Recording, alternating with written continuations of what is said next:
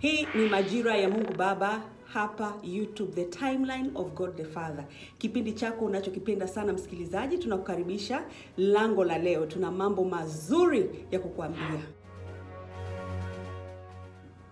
Ni kwa nini kuna mabadiliko ya hali ya hewa? Ni kwa nini ghafla vitu vimebadilika? Uongozi wa dunia umebadilika. Ukienda kila mahali kuna vitu vimebadilika.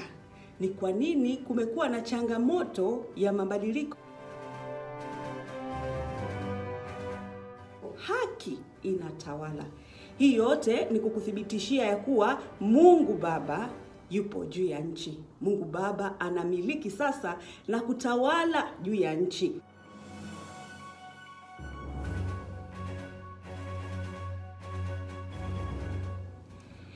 Tutakwenda moja kwa moja kuangalia jinsi ilivyoandikwa, ni kwa nini mabadiliko haya tunayaona. Ukienda nchi mbalimbali, wanakuambia kabisa, jamani, hatujui ni kitu gani kinatendeka. Mbona majira hii ilitakiwa iwe ni mvua inanyesha? Mbona majira hii ilitakiwa iwe ni kiangazi? Eh? Wengine huko wanakokaa Ulaya ilitakiwa ni freezing snow ambayo haijai kuonekana, lakini sasa hivi hali ya hewa ni nzuri. Kwa kweli huu ni mshangao wa dunia. Ukienda kwa wanasayansi watakwambia ni global warming, lakini nataka nikwambie msikilizaji, sio global warming. Hii ni majira ya Mungu Baba mwenyewe, anamiliki na kutawala. Mungu Baba yuko juu ya nchi. Sasa ni jambo gani limetendeka kufanya haya yote yatokee?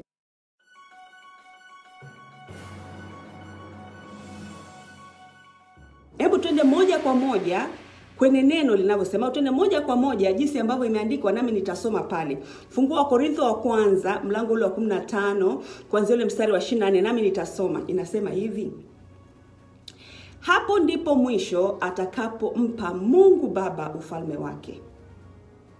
Unajua, haikusema atakapompa nani, ilisema atakapompa nani? Mungu Baba. Yaani mwisho, unajua ulikuwa unasikia end times au majira ya mwisho. Jamani, siku za mwisho. Mwisho ni nafsi kabisa ambayo ilikuwa inajitegemea, ilikuwa imebeba mambo yote mabaya na mambo yote mazuri tangu majira ya kwanza hadi ya saba. Kwa hiyo huyu mwisho ilikuwa imefika mwisho wake, hawezi tena kuendelea mbele. Yaani kulikuwa hakuna namna nyingine tena anaweza kuendelea mbele. Hmm. Sasa huyu mwisho ndio anakwambia hmm, amempa Mungu Baba ufalme wake. Yaani mwisho alikuwa na ufalme wake kabisa.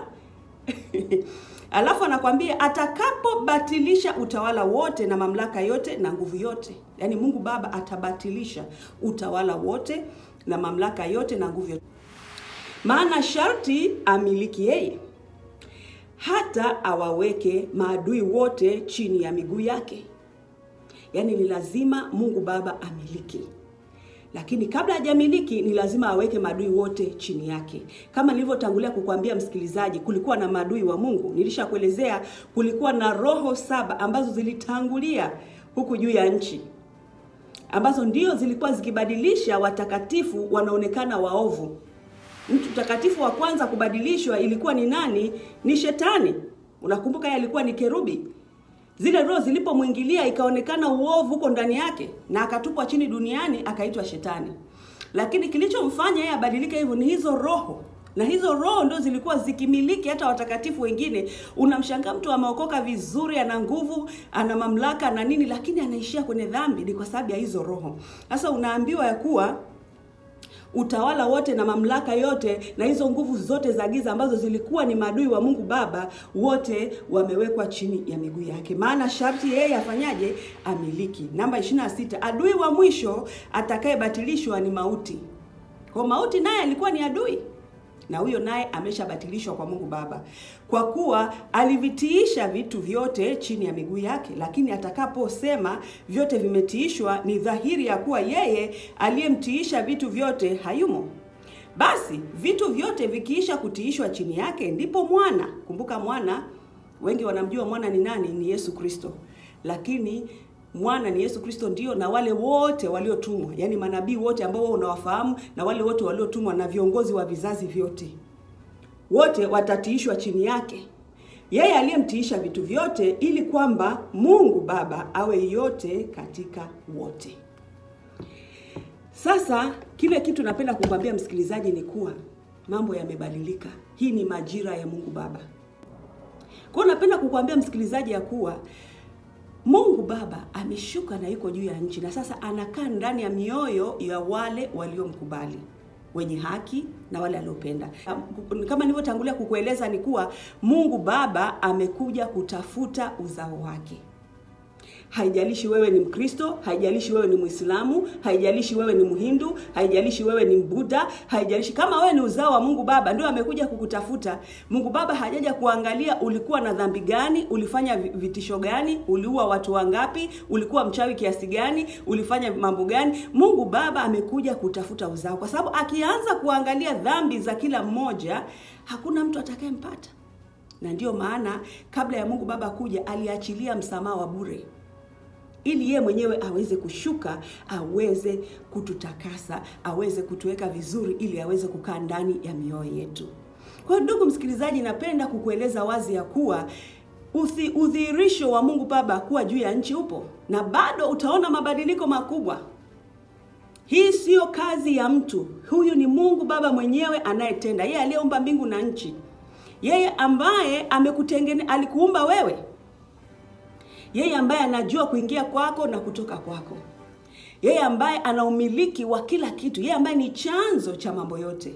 Huyo ndio nazungumza habari zake, amekuja juu ya nchi. Ni kweli watu wengi walikuwa wanamsubiri Yesu Kristo, lakini yeye amebadilisha nini? Mtazamo. Amebadilisha nini? Amegeuza uteka wa kanisa, kwa sababu hali ilivyokuwa kwa kweli Yesu Kristo wasingeweza kuja kwa sababu tayari walikuwa walishamwibia vitu vyake, tayari walishakuwa mena. Ngoja nikwambie ni kwa nini Yesu Kristo ilikuwa inambidi kwamba yeye asije. Ni hapa, ngoja nikwambie hapa, iko wazi kabisa, kila kitu kimeandikwa hapa. E, kama tunavyoambiwa na baba uzao, kila kitu kimeandikwa. Ni Mungu Baba mwenyewe akuonyeshe ina maana gani na ni lini itatendeka. Matendo 2:30 anasema, maana Daudi hakupanda mbinguni, bali yeye mwenyewe anasema, Bwana alimwambia Bwana bali yeye mwenyewe anasema Bwana alimwambia Bwana wangu, yaani Bwana manake akimaanisha Mungu Baba alimwambia Bwana wake, keti upande wa mkono wangu wa kuume. 35 hata nitakapoweka adui zako chini ya miguu yako. Kwa ina maana Yesu Kristo alipokufa msalabani, alipoenda juu kwa Baba, alienda na maadui. Ndio maana Mungu Baba akamwambia keti mkono wangu wa kuume kwa sababu jinsi ulivyo hautaweza kuja kukaa na mimi huku. Na ndio maana unaona ukisoma katika Yohana 17 yote ule mstari wa tano, Yesu Kristo anamwambia Mungu Baba, ninatamani nije nikae na wewe majira ile ambapo ulikuwa kabla hujaumba chochote. Nitakuwekea hapo mstari, maana kulikuwa na utukufu usio wa kawaida, kwa sababu Yesu Kristo aliona jinsi alipitia mambo yote haya lakini alipomaliza kazi aliyotumwa, kusudi la Mungu Baba ndani yake, Mungu Baba alimwambia huwezi kuja kukaa na mimi bado, kwa sababu umekuja na madui. Maana walipomuua Yesu msalabani, we mwenyewe unajua, walichukua mavazi yake wakagawana, ile damu iliyomwagika wakaiiba pale. Na ndio maana Yesu alisema katika Mathayo ishirini na sita ule mlango wa ishirini na tisa alisema, nitakunywa sintakunywa hii divai tena na nyie mpaka nitakapokunywa mpya katika ufalme wa Baba yangu. Nitakuwekea hapo na wewe tena ukasome, maana alishatambua kuwa tayari walishaiba ile ile damu yake, walishainywa, walishatumia, walishafanya wanavyotaka. Ndio maana wengine wakiomba wanashangaa kwa nini mambo haya yatendeki. Ni kwa sababu tayari waovu, zile roho saba ambazo nilizokuwa nakwambia, ile miduara mitatu, walishaiba ile damu ya Yesu, maana walimuona live wakaichukua. Wengine wanakwambia haiwezekani. Ndio nakwambia ilivyokuwa watakatifu wote ambao walitumwa na Mungu Baba majira zote saba walikamatwa na zile roho. Kulikuwa hakuna jinsi ya kukwepa, na ndio maana inasema ole wewe ambao ulikuwa juu ya nchi, maana zile roho zilikuwa tayari zinakukusanya. Zina kama waliweza kumchukua kerubi ambaye alikuwa yeye ndo anakaa karibu pale na Mungu Baba, sebuse ndio mtu mwingine.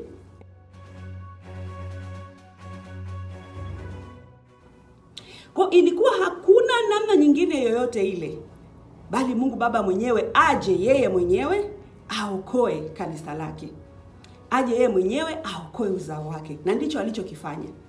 Na amekuja kwa njia ambayo watu wengi hawajaelewa, wanashangaa.